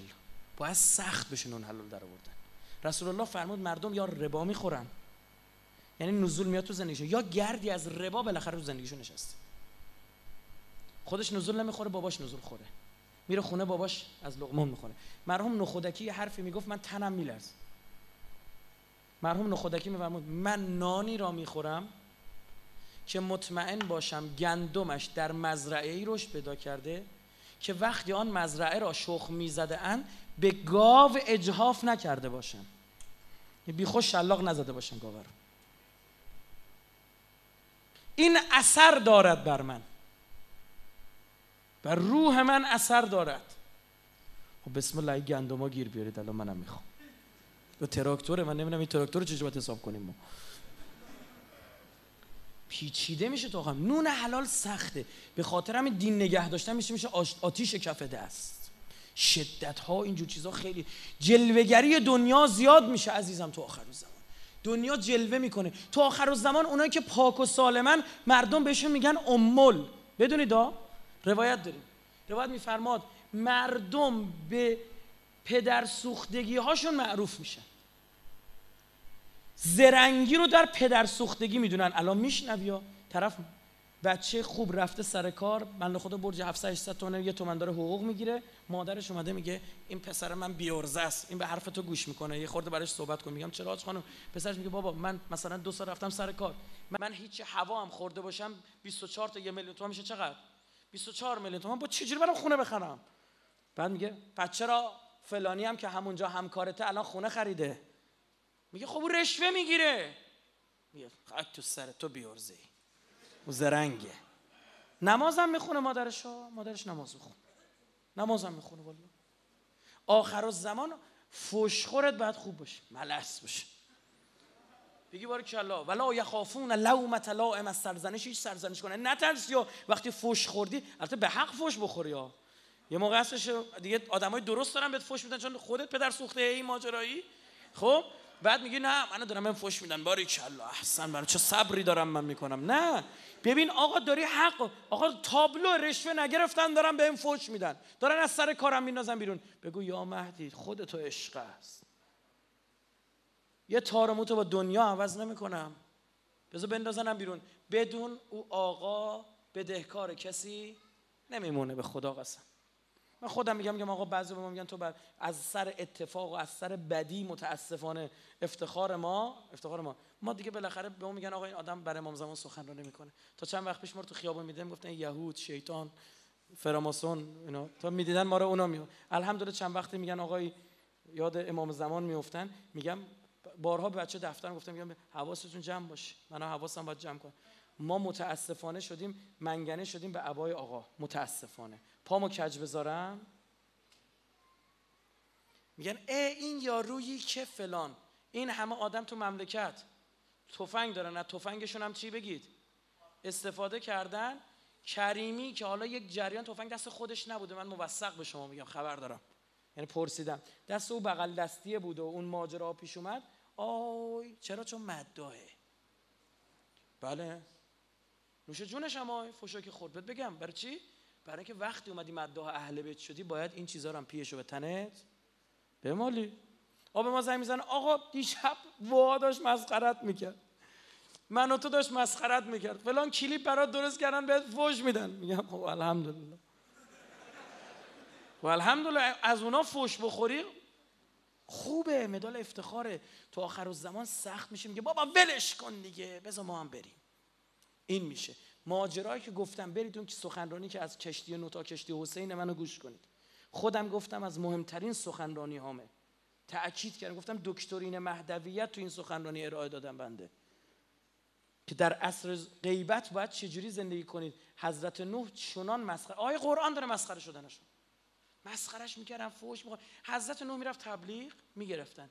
میزدنش می‌رفت تو کما. یه روز بعد به هوش دوباره بلند می‌شد می‌رفت. ما هنو کتکه رو بگید. نخوردیم. یه اخی به همون می‌کنن. او یا نگاه کن دنیا رو. آ ما رو کشتن بردن فلان شد. بابا به خجالت بکش. منتظر مهدو انقدر سسول امام زمان بچه قرتی و بچه سسول بگید. نمی‌خواد. لوتی می‌خواد. آدم شیشتونگ آدم پاکار. آدم زبر و زرنگ. آدم سسوت مؤمن باید کیس باشه تیز باشه رو هوا بزنه. منتها خطرناک ماجرا می‌دونی کجاست؟ اون موقع که خودی بزندت. اینجا دیگه گیر می‌کنی. خدا سرتون نیاره. خیلی سخت میشه تصمیم. یه نفر شروع می‌کنه به تو فوش دادن. می‌دونی اگه جوابشو بدی اصل ماجرا ضعیف میشه. متوجه چی شد؟ اگرم جواب ندی میگن این که دیگه دشمن نیست. این خودیه داره میگه. اینجا خیلی سخت میشه. یعنی نمی‌دونی چی کار باید بکنی متوجه ما استاد اخلاقی داریم خدمتشون رسیدیم گفتم آقا شما بفرمایید ما چیکار کنیم؟ اینی که اومده تو سخنرانیش گفته رایف پور جاسوس امای سیکسه تو یه جای خصوصی 250 نفره خصوصی 250 نفره. من چیکار کنم؟ این دوستانی به من میگن بیا ازش شکایت کن پدرشو در خب؟ من اگه از این شکایت کنم یا جوابشو بدم خیلی اوضاع خراب میشه. گفت چرا؟ گفتم چون سخنرانیایی هم که می‌کنه سخنرانی خوبیه. بعد میگن ای این دوتا چرا به جون هم افتادن؟ چجوری مخاطب گیج میشه؟ گفتم چیکار کنم؟ گفت سکوت کن. جواب نده. گفتم خب جاسوس ام 6 رو چیکارش کنیم؟ گفتش که اونی که باید جاسوس ام رو باور کنه و اطلاعات هر موقع سراغت اومد اون دیگه باید فکری بالا خودت بکنی. ماجرا سر اینه. گفتیم حالا بیان چیکارش کنیم؟ امام صادق فرمود این امر برای شما واقع نخواهد شد مگر پس از ناامیدی. دل بده به من. ناامید میگه میشید. پس از ناامیدی. نه به خدا نمی آید تا شما مؤمن و منافقتان از هم جدا نشود. امام صادق میفرماد به خدا نمی آید مگر اینکه باید هی غربال بشید. هنو بینمون آدمای منافق هست. رو میشن دیدی؟ هر اتفاقی تو این مملکت میفته تو جمهوری اسلامی یه تقیب توق می‌خوره. اه فلانی هم بله میگن به عجب. ایشون که میگن آره میگه عجب. این نگران نباشید من اینا رو می‌بینم خوشحالم میشم. ناراحت میشم یه خودی از دست میره ها. اما میگم عیبی نداره. این باید اتفاق میافتاد. لتغربلن غربلتن و لتبلبلن بلبلتن. چنان غربالتون می‌کنن و چنان دوچار بلاتون می‌کنن تا اینکه بالاییتون میاد پایین پایینیتون میره بالا. امیرالمومنین میگه مثل کفگیری که میندازن توی دیگ شروع می‌کنن هم زدن و شور دادن. میگه این پایینی میاد بالا بالایی میاد پایین. آخر زمان میگه اینجوری میشه. قربال صورت خواهد گرفت. آنقدر قربال صورت خواهد گرفت به سان انبار آردی خواهید بود. که هی کپک می‌زنید ازتون جدا می‌کنن. که هی کپک می‌زنید جدا می‌کنن. تا به اندازه چند لقمه آرد باقی نماند اینا نکته است عزیز من. حدیث خیلی زیاد داریم. از, از آقا ابا عبدالله قربونش برم. ابا عبدالله تو روایت یعنی امام صادق اما اینجا منظورم امام حسینه. از ما از ما دوازده نفر همه مهدی هستیم. ما هممون مهدی به معنی اسم مهدی همه امام صادقن. اما که نخستین ایشان امیر المومن علی ابن ابی طالب و آخرین ایشان نهمین از فرزندان من است. اصلا می‌دونی دیگه. امام امام حسین خیلی جالب می‌خوان امام زمان رو معرفی کنه. میگن نهمین از فرزندان حسین. اصلا امام زمان رو به حسین معرفی می‌کنن؟ امام زمان خودش هم که زور میفرماد تا می‌خواد میگه انا بقیت الله انا سمسام المنتقم تا می‌خواد خودش معرفی بفرماد میفرماد ان جدی الحسین قتلوه اتشانا من پسر همون حسینی هستم که چی؟ اتشان کشتنش. یعنی مردم دنیا امام حسین می‌شناسن. یه راه. می‌خوای؟ ظهور جلو بندازی. هیهاد من نزله حسینی رو به دنیا یاد بده. اوست امام به حق که خدا زمین را پس از مردگی به او زنده سازد و دین را به او ظاهر و بر هر دین پیروز گرداند. اگرچه مشرکان کراهت داشته باشند ولو کره المشرکون برای او غیبتی است که جمعی در آن از دین مرتد و بیگانه می‌شوند. مرتد و بیگانه می‌شوند. و دیگران بر دین خود ثابت مانده اما اذیت شوند. با آنها گفته شود چه زمان این وعده انجام شود. اگر راست گویانید. میگه مطلق بشه ای پس چرا نمیاد؟ آگاه باش که صبر کننده در عصر غیبت او بر اذیت و تکذیب مانند جهاد کننده با شمشیر پیش روی چشمان پیامبر است. میگه عین اینی که پیغمبر جلو چش پیامبر داری جهاد می‌کنی با دشمن. فرمود یک دونه از یاران مهدی برابر با هفتاد نفر از شهدای بدر است. چرا؟ چون کار بگید. سخت ندیده قرار عاشق بشه. شاهکار ها نه؟ ندیده. شدنیه شدن عزیزم حبی دیوی سیصد هزار تا جوانی که رفتن پرپر شده. اینا یه یبن الحسن می‌گفتن می‌زدن به خط. یه زیارت آشورا میخوندن آتیش می‌گرفتن. برای امام ندیده اینجور اینا خون ریختن. معنیش چیه؟ یعنی اگر اصلش رو بفرستی بیایم شرایط ظهور رو فراهم کنیم. ببین سر غیبت مخفیه اما اهل بیت یه سری روایت ها دارن که چی؟ لو میده که اینا می‌تونی یه کارایی کنی. شیعه رو باید قوی کرد. رسانه‌ای مالی تبلیغی. چند تاتون چند تا از جوانای ما دو سه تا زبون بلدن برای اینکه بتونن برن با یه انگلیسی صحبت بکنن. نمی‌تونه امام زمان نمی‌شناسه. برید مطالعه کنید. تو حوزه علمیه ما باید حداقل هر طلبه ای ما که داره درس می‌خونه به دو سه تا زبان یک حداقل یه زبان دیگه به غیر از زبان عربی که به زبان دینه. تسلط پیدا بکنه بریم پخش کنیم. نمی‌خواد فوش بدی به طرف مقابلت. اصلا لازم نیست. بگم چیه؟ تو فقط از اهل بیت بگو. من یه نفر شیعه کردم با یه حدیث از امیرالمومنین. طرف خیلی فاز طبیعت داشت. اصلا می‌گفت طبیعت رو به دست نباید بزنی به درخت نمی‌دونم چی و فلان. خیلی دیگه لا. ما قائلیم باید طبیعت حفظ بشه. دیگه یه چیزی میگم یه چیزی میشنوی. گفتم من یه روایت از امیرالمومنین برات بخونم. گفت بفرما. گفتم مولا علی فرمود اگر نهال درختی در دست توست و قیامت واقع شد. روز قیامت شد. اول درخت را بکار بعد به کارهایت برس. گفت کی کجا؟ این چی بوده؟ جریان چیه؟ ها گفتیم بیا بسم الله. با یه حدیث. با یه حدیث. طرف حقوق حیوانات میگه میگم بیا برات بگم. بیا برات بگم. مذهب ما مذهبی که مرحوم نخودکی اینجوری میگه. مذهب ما مذهبی است که امام صادق فرمود شما حق ندارید به حیوان دروغ بگید. حیوان هم صبح تا شب داره خالی میبنده خب برای آدماش داره خالی به حیوان گفت آقا من بارها گفتم این خرم خر سرتقی چهار چرخ دیسک قفل می‌کنه نمیره. بعد اینو من به زور میبرمش. گفت نکنه میزنیش. فرمود نه نه والا چی؟ یک دسته علفی می‌گیرم جلوش مثل کاهو که مثلا جلو بابا یه کلا قرمزی می‌گرفت هر خواستم بکشم ببرنش. و یه دسته علف می‌گیرم جلوش بو می‌کنه تا سر زمین میاد. گفت نه دروغه. فرمود نه دروغه. چیکار کنم؟ خب بین راه بده بخوره. که دروغ نگفته باشی به حیوان. الله اکبر. خب بگو ببین مشتری میشه یا نه؟ بسم الله بگو ببین مشتری میشه نه. نمی‌خواد سفره مردم مسخره کنی. بیا سفره خودتو بنداز. اونا خودشون سفره هاشونو چیکار می‌کنن؟ جمع می‌کنن.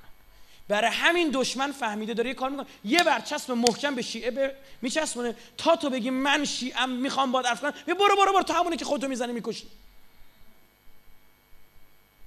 کدوم آدم عاقلی به خودش آسیب میرسونه؟ برو بزن تو کله دشمن دو شمشیر تو اقامتو. تو عراق آمریکایی‌ها اونجا به جای بره آمریکایی‌ها رو بزن بزن کله خودشون. عجب. او داعش ریخته تو خیابون دارن به ناموسش یه دارن تجاوز کنه بزنه گردن اون رو بزنه. ما طرف معرکه ما. پس عزیزان خیلی روایت هست. من دیگه چون وقت گذشته یک مورد دیگر هم براتون بگم. اینکه بقیه چیزا هست که می‌دونید اوضاع جهانی باید آماده بشه. مردم تو دنیا باید به این برسن که یکی بیاد ما رو چی؟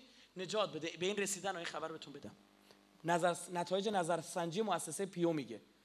میگه عموم مردم دنیا اونایی که معتقد به ظهورن می‌دونن یه منجی هست به نتیجه رسیدن که در دوران عمر ما ظهور واقع خواهد شد. بالای 50 درصد آمار یعنی اینقدر ظهور رو نزدیک می‌بینن. خب؟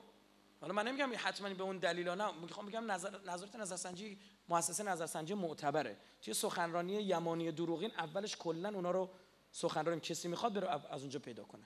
سخنرانی یمانی دروغین قبلش نتایج نظرسنجی رو گفتم یعنی دنیا آماده میشه. ببین همه ایدئولوژی ها امتحان میشه. فقط میونه یکی. ما داریم خیلی جالبه روایت داریم که فرمود تمام این ایده های تشکیل حکومت کنار میره. فقط میمونه یکی. چرا؟ چون پس ورده اگه آقا ما زمان ظهور فرمودن یکی نگه نه فقط این اینجوری جواب نه. اگه ما می بودیم این مدل هم جواب می‌داد. من بهتون بگم اینم به بنبست رسید. بسم الله مارکسیست لیبرالیسم کمونیسم نمی‌دونم نظر فرد نظر گروه نظر رهبری اینم چند نفره نظر رهبری یک نفره سیستم پارلمانی سیستم ریاست جمهوری همه اینا امتحان شده چیزی دیگه نمونده. ما شیعه ها ایم الان ظهور دست من و تو کلیدش. ما خوابیدیم لم دادیم. صبح تا شبمون شده دنیا. در بیاریم که بخوریم که بخوابیم. که بخوابیم که بتونیم فردا دوباره کار کنیم. که پول در بیاریم دوباره بخوریم بخوابیم. امام زمان است. بله قربونش برم. اللهم عجل لولی که فرج هیچ نقشی هم تو زندگیش دروغ رو میگه دزدی رو می‌کنه خالی رو میبنده. اه.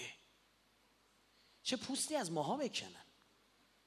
والا بر ما حجت بگید. تمام شده. بریم زندگی رو درست کنیم. معرفی کنیم اهل بیتو از اینترنت از برید یاد بگید دیر نیست. هیچ کاری نمی‌تونم بکنم آقا هیچ کاری دستم بر نمیاد. گناه نکن. هر گناه تو مانع زوره. یه نکته هم اینجا بگم. اینم پخش کنید همه جا. الحمدلله ما طرحی دادیم گرفته. امسالم به قوت برگزار خواهد شد. خب گفتیم آقا این شب احیای نیمه شبانه بیاین بکنیم. احیای ظهور. خدمت مراجع رسیدیم. موافقتشون هم چی؟ گرفتیم. خیلی از بزرگان اساتید اخلاق علما رو خدمتشون رسیدیم. ما می‌خواستیم چند شب تو سال باشه؟ فرمودن نه. ممکنه داستانی درست بشه و همین شب نیمه شبان احیا رو. آقا بیاید احیا بگیریم شب گریه بکنیم برای ظهور امام زمان. بگیم آقا غلط کردیم. چون امام صادق فرمود اگر شیعیان ما ند بکنن خدا ظهور جلو میندازه. نفرمود مسلمان ها فرمود اگر شیعیان ما شب نیمه شبان شب گناه کردن یه تو خیابونا. بیاید پناه ببریم به مساجد. ما تو سایتمون جلساتی که تو هر شهر برگزار میشه بنرهای تبلیغاتشون دارن میفرستن. ما اعلام می‌کنیم. کسی هم می‌خواد. برید حضور پیدا بکنه. برید حضور پیدا کنید و کیفش به با هم اشک ریختنه. اون شب دو حالت داره احیاش. یک استغفار از گناهان مانع ظهور. شب جمعه هم هست. خوراک چیه؟ دعای کمیل مولا علی رو بخونی اشک بریزی. غلط کردم خدا. اللهم اغفر لی از ذنوب. بعد چی؟ فقط یه خواسته داشته باشه. فقط ظهور. اون شب یه شب از 365 شب مال امام زمان. خب؟ انشالله این خواهد گرفت. من مطمئنم. در این شکی وجود نداره. پارسال 40 50 تا مجلس احیاهایی بود از قدیم من. نگم احیا نیمه شبان رو انداختن. نه از احیای نیمه شبان داریم استفاده می‌کنیم. بهترین محمله احیا برای ظهور. اشک ریختن و ندبه کردن برای ظهور. به خدا قسم اگر دو دقیقه هم ظهور رو جلو بندازی معجوری اجر می‌بری. مورد آخر رو بگم. پیدایش مؤمن از پشت کفار. میفرماد یکی از بحث‌های زور ما چون در مورد سوره نوح هم باز داریم. ببینید اون که من در مورد حضرت نوح عرض کردم اینه که شما می‌بینید از صلب حجاج ابن یوسف که دیگه تو پدر سوختگی این آدم کی نبود؟ حسین ابن احمد ابن حجاج به دنیا میاد که عجیب محب اهل بیت شیعش شیعه اهل بیت شاعرم بود در بس اهل بیت شعر می‌گفت. خدا منتظر اونها اون افراد به دنیا بیان عزیزان. امیر وقتی شمشیر می‌زد مالک درو می‌کرد. امیر یه دونه می‌زد پنج تا نمی‌زد. مالک بعد جنگ شوخی کرد با حضرت امیر. عرضه داشت یا امیر امروز چجوری می جنگیدی مثلا مالک هم برای خوش یلی بود دیگه خب. مالک خیلی مقام داره.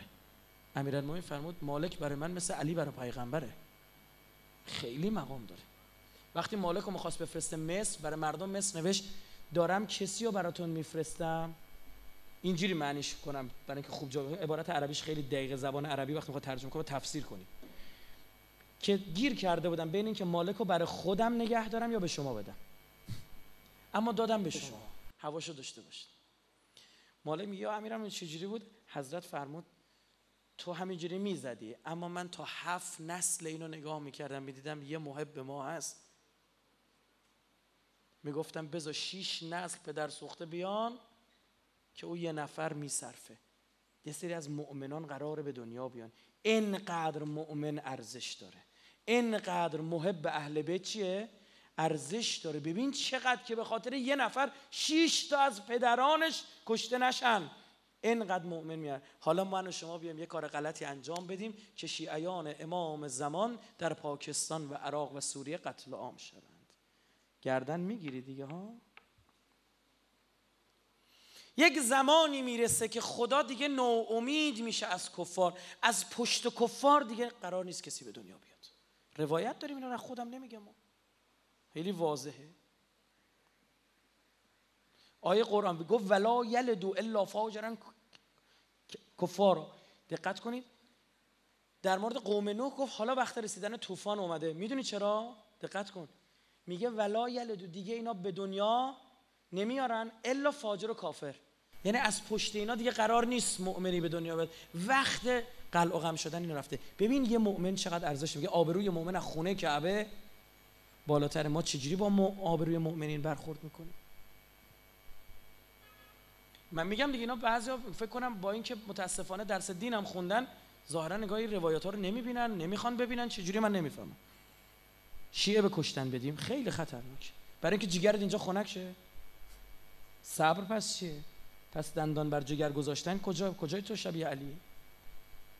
خب سرتون رو درد آوردم مطلبم مون والا خب؟ اما اصل مطلب رو انتقال دادم ماجرا اینه عزیزم. بجنبیم ببینید ما جریان گفتم. ببین تو کدوم بخش می‌تونی کمک کنی. هیچ کاری نمی‌تونی بکنی. گناه نکن که اصل کار همینه. تو خودت گناه بذاری کنار می‌بینی چی میشه؟ خدا نور الهی بر دلت میباره زبانت باز میشه. یهویی شروع می‌کنی می‌بینی می‌تونی از اهل بیت دفاع کنی برید فرهنگ اهل بیت رو یاد بگیرید. برید سیره اهل بیت رو یاد بگیرید. به آقا نواراش هست سخنرانیاش هست. والا بلا کتاباش هست. برید کتاباشو بگیرید بخونید. اون دنیا از سینوس زاویه سی درجه ازتون نمی‌پرسن. به خدا من حاضرم قسم بخورم نمی‌پرسن. از کتانجانت 27 درجه نمی‌پرسه که بشینید دو ساعت بشینید حساب کنید او دنیا از قرآن و اهل بیت می‌پرسن. انی تارک فیکم مستقلین کتاب الله و اطرتی اهل بیتی لن یفترقا حتی یردا علی الحوز سر حوز کوسر میای میگم بگو با مهدی چه کردی. چی کاره بودی؟ کدوم بخش بارز رو دوش مهدی رو گرفتی؟ دنیا آخر زمان برعکس شده دیگه. امام زمان باید اشک بریزه که ما را به خیر تو امید نیست. شر مرسان. بی انصاف. یه باری هم رو دل امام زمان می‌ذاری؟ یه فکری با حال خودمون بکنیم ترک گناه کنیم ترک گناه کنیم. خدا نور حق بر دلمون میباره. گفتی برای اینکه بتونیم عهد بندیم با امام زمان باید قبلش چیکار کنیم؟ دلمون نرم بشه خوب بتونیم اشک بریزیم. از مجلس ابا عبدالله بهتر از این شبایی که پیش رو داریم بهتر مخصوصا شب نیمه شبان و احیاش. بشینیم اشک بریزیم بگیم خدا ببخش. برای همینم بنده عرض کردم اول استغفار از گناه بعد خواستن ظهور چون تا این صورت نگیره اون نمی‌تونی بخوای. اللهم عجل ولیک الفرج والعافیت و النصر و جعلنا من خیر عوانه و انصاره و المستشهدین بین یدیه. این جریان سه تا سوال چیه؟ کجا نوشتی؟ 20 کاغذ اینجا. خب لطفا در اوه. اینه هیچی ننوشتی؟ آقا سه تا سوال قرار من تر کنم؟ آها این سه تا سوال از من پرسید نمی‌خواد جواب بده ولش کن. سوال بی خودی. خب نه سوال خوبی هر کس بدونه بعضی از اینا اسم بردید. مثلا اسم یکی از مراجع رو نوشتن. ببینید بحث سر نوع مرد با هیچ کار اما وقتی ما در مورد مرجعیت داریم صحبت می‌کنیم باید چی بشیم؟ مراقب باشیم. خب؟ من خودم آدمیم وقتی حرف می‌زنم قبلش رفتم به خود طرف گفتم. همین مرجع تقلیدی که شما اسمشو نوشتید بنده رفتم خودم خدمت ایشون ماجرای قمه زنی رو کامل بهشون گفتم. عکسای Google Image و همه رو بهشون نشون بدم متوجه شدید؟ خب نکته سر اینه. دقت بفرمایید. به نظر من اصلا نیاز به چیز پیچیده ای نیست. خیلی واضحه. به عقلتون رجوع کنید به خدا قسم حل. بازم حرف اول آخر ما عقل. خدافظ شما.